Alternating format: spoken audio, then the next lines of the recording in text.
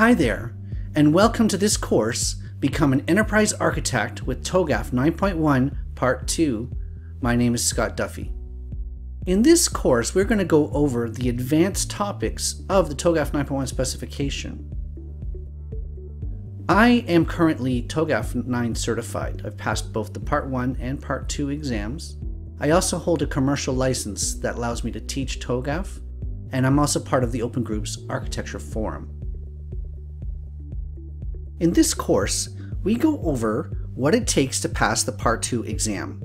As you can see on screen, these are the requirements that are taken from the Open Group's website for this exam. We cover all of these exam requirements one by one. We go into detail on each of the advanced parts of the TOGAF 9 specification, and there's a lesson for each of these requirements that are on screen. This is the only course on Udemy that covers these topics in this detail. This course covers more than two hours of video lectures, so it's complete yet easy to watch. You've got to get the audio files as a downloadable MP3. You can take it on the go, put it on your phone, put it on your iPod, whatever portable media device you have. You'll have lifetime access to the course. There's no limit.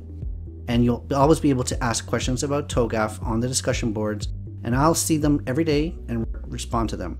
Udemy has a 30 day no question asked money back guarantee, so you've really got nothing to lose. Thanks a lot for listening to this, and I hope to see you inside the course. Thanks.